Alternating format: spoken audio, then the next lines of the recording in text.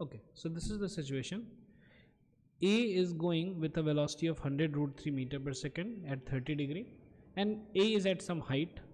B is also at some other height. The distance between them is 500 meter and the velocity of b is at 60 degree with respect to the horizontal. So now what a is observing the a is observing that uh, b is coming directly to him because a just escapes being hit by b. So almost you know it's in this direction only.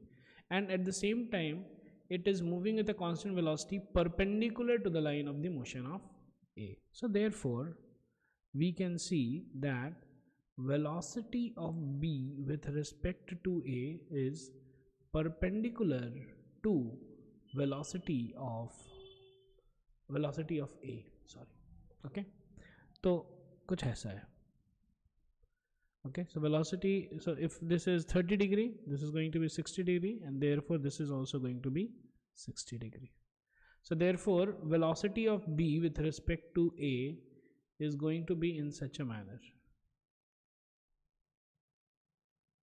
okay where the net velocity is going to be 60 degree okay So now we should write velocity of b with respect to a.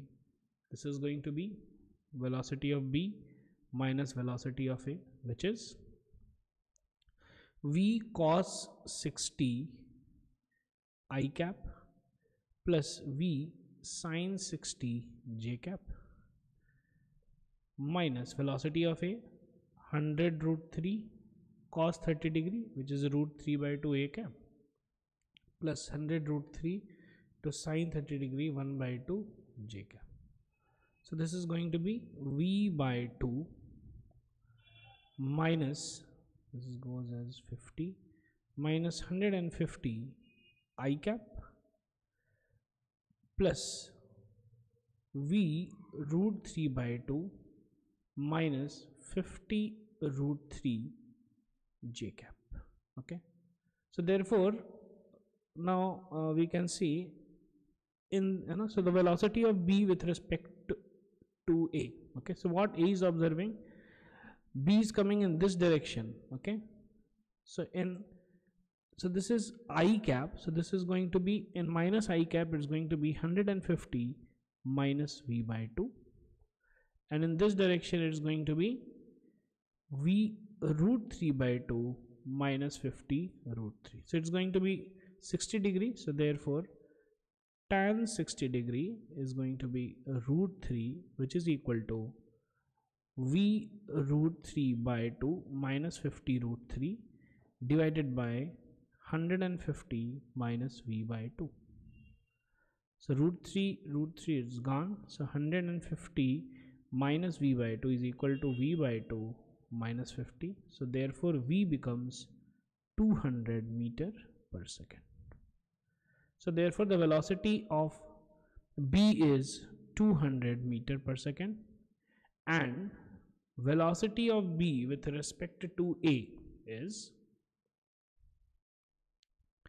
velocity of b with respect to a, a is so this is uh, um, you know so this is minus 50 i cap plus so 100 root 3 so this is 50 root 3 j cap.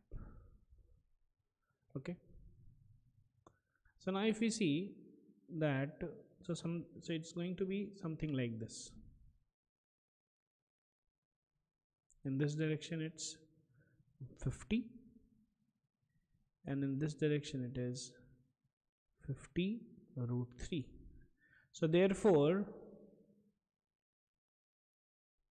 in this direction you know the resultant is going to be root over 50 square plus 50 root 3 whole square which is equal to 50 into 2 which is 100 meter per second okay? So therefore b is being you know b is approaching a with a speed of 100 meter per second and the distance initial is 500 meters so therefore the time t naught is going to be 500 meter divided by 100 meter per second which is 5 seconds. So therefore 5 seconds is the answer. Okay. So again i will explain how we started with. So we started with uh, simple. Um, we took a okay and we took b at uh, and these both are at some height here okay.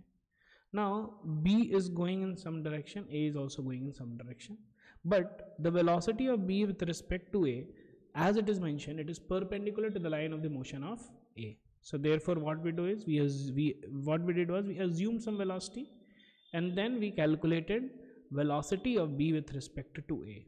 This entire thing we calculated. And this comes out to be this. Now since it is mentioned that it is perpendicular so we know the direction of it. Okay so 60 degree. The 60 degree is v y divided by minus v of x. So therefore we have put a negative sign over here. Okay. Velocity comes out uh, b is 200 the velocity of b with respect to a in this direction it comes out to be 100 meter per second. So therefore since it is at 500 meter so 500 divided by 100 is going to be